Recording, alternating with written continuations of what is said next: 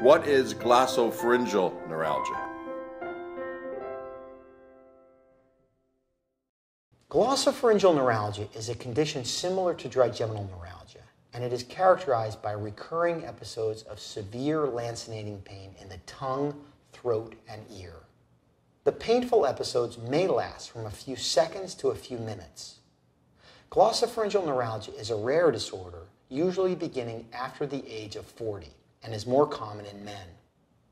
The symptoms include severe pain in the areas connected with the ninth cranial nerve, these areas include the back of the throat, tonsillar region, base of the nose, and the ear. Although brief and intermittent, the attacks can cause excruciating pain. The attacks are sometimes triggered by a particular action, such as chewing, swallowing, speaking, coughing, or sneezing. Glossopharyngeal neuralgia is believed to be caused by an irritation of the ninth cranial nerve. In some sources, the irritation is never found but it is usually caused by a blood vessel compressing or irritating the nerve.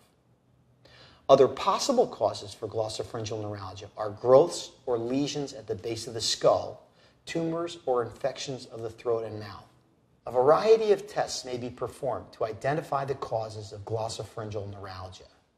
These tests may include MRI or MRA scans and CT scans. When the pain results from an abnormally positioned artery pressing on the glossopharyngeal nerve, the pain can be relieved by a surgical procedure called microvascular decompression. Sometimes this vessel is so small it cannot be identified on preoperative MRI scans, but it's seen at the time of surgery. Although drugs are sometimes effective in treatment, surgery may be required for permanent relief from the pain. Surgery is considered effective for classic cases that do not benefit from medications.